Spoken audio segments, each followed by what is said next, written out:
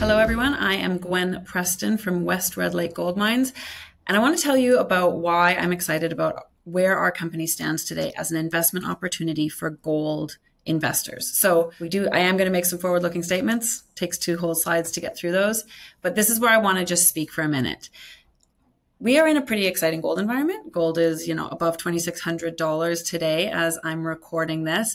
Um, and I think there's a lot of reason to believe gold is going to go higher from here in a rising gold environment, what is the best place to put your money? In my estimation and my experience as a gold investor, um, the best balance of upside and managed risk is it with companies that are putting that are putting new gold mines into production, and you get the best. Uh, combination of the upside and managed risk when it's an experienced team that is going from either zero production or modest production to becoming like a real gold producer.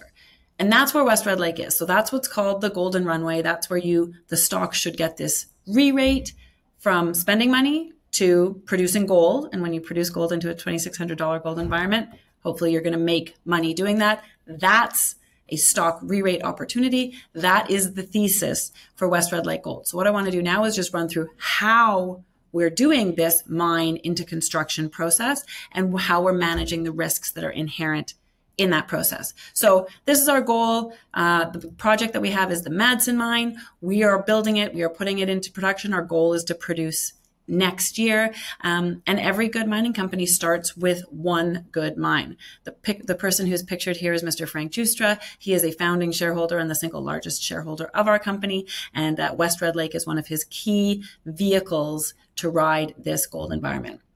Quick backstory on the Madsen mine because this helps you understand why we're able to do what we're doing. Madsen is a mine in Red Lake, Ontario, really high grade gold district. It operated for several decades, produced 2 million ounces of gold at a rock grading 9 grams, so high grade mine, uh, a shaft all the way down to almost 1,300 meters. These historic miners knew what they were doing. They knew they were into a good thing. Then the gold price fell off in the 70s. The mine shut down. It had gotten deep and full of water.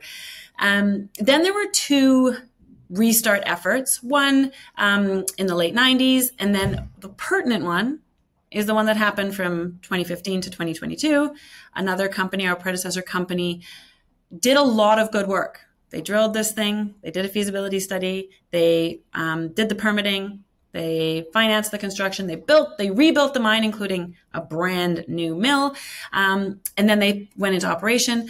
Unfortunately, they made some missteps along the way, and that operation only lasted for 14 months. But they did invest $350 million into our asset just before we bought it.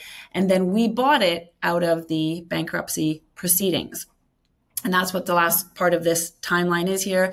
We basically bought this asset for $6.5 million cash, um, plus shares and a 1% NSR.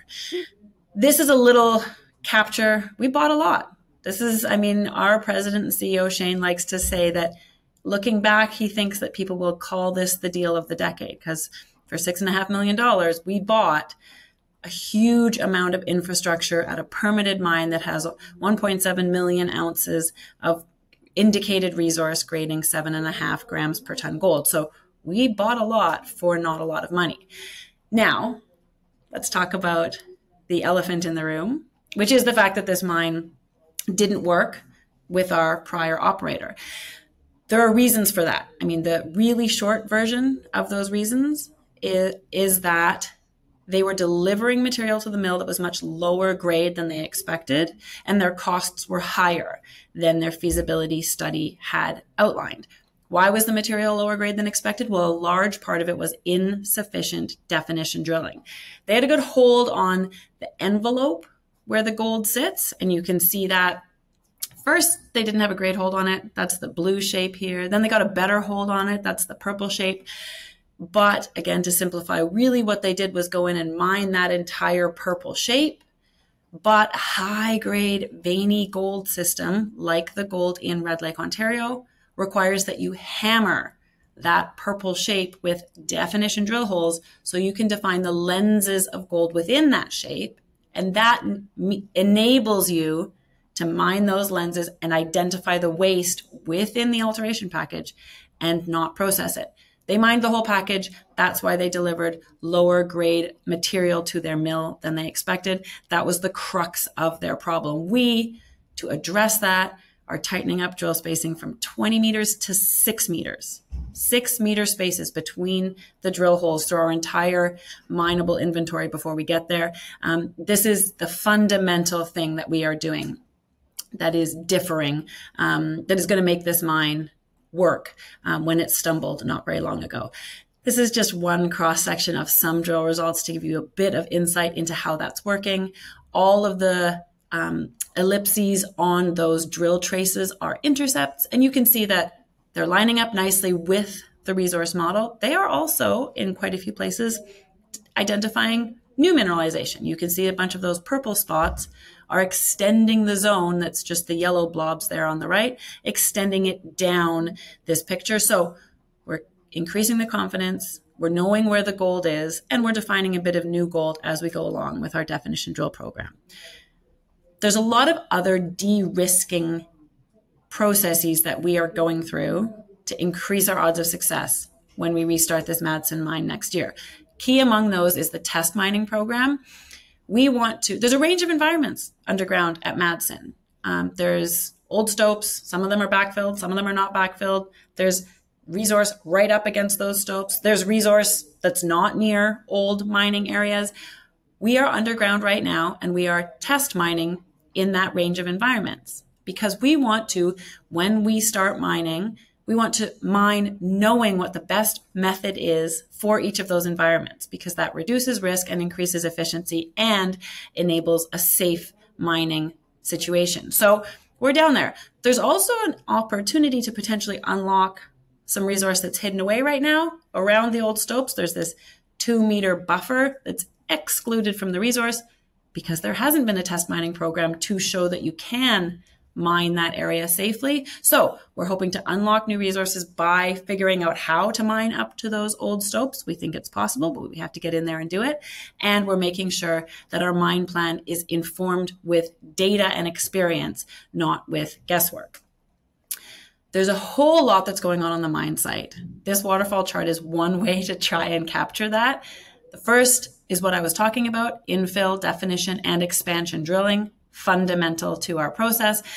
We're doing a lot of underground development. There are two crews underground at all times at the Madsen mine right now. They are dr- driving new tunnels to give us access for that definition drill program and to set us up, give us access to the places where we will mine when we turn this asset on next year. So underground development, really important in an underground mine to do underground development ahead of time so that when you start mining, you have lots of options for where to go and you have good confidence in the resource in all of those places.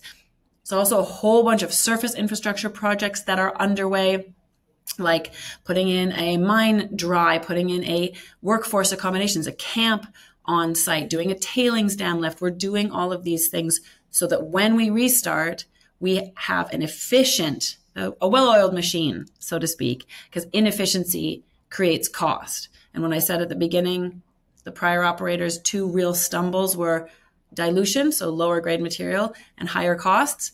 They hadn't had the opportunity to do a bunch of the capital projects on surface that make it a well oiled machine. So we are trying to make it a well oiled machine before we turn it on through a bunch of these infrastructure projects. Connection Drift is another big capital project, a $10 million tunnel to connect the two sides of the mine that weren't previously connected underground. That's going to enable much more efficient and safer and better for the local community um, ways of moving material out of the mine and to the mill uh, and the bulk sample there, that's the test mining um, process. So these are all of the things that are underway, pushing us towards restart. And our goal is to do that next year. Why should we do all of this work? Because of the re rate that I mentioned at the beginning, right? The reason to put a mine into production is that a stock should get re rated as it goes from explorer to developer to financed developer to junior producer and then maybe beyond if they acquire additional assets and grow your multiple that you get on your net asset value rises and so these are just two ways of looking at that the, the chart on the left shows the multiple that you get for your net asset value and it goes up when you become a producer. That's because you go from needing money to making money, assuming you are successful at your mine. And the one on the right shows the value that the market gives you per total number of ounces in the ground. The ounces in the ground are worth more if you're actively mining them compared to if they are simply sitting in the ground. So that's the West Red Lake story. That's the West Red Lake investment thesis. This is our share structure, which is important to end with. This man is Mr. Shane Williams. He's our president and CEO. He is a deeply experienced mine engineer who's built dozen, who's built over a dozen mines around the world: Turkey, Greece, Sweden, Quebec. Um, he's leading this charge. His experience is absolutely fundamental to why we believe that we are going to be able to restart this Madsen mine with success.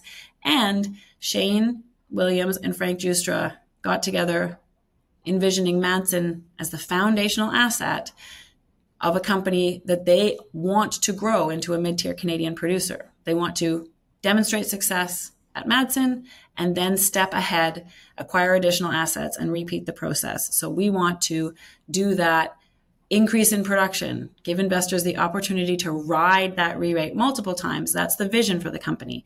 And we're just at the beginning of that path right now.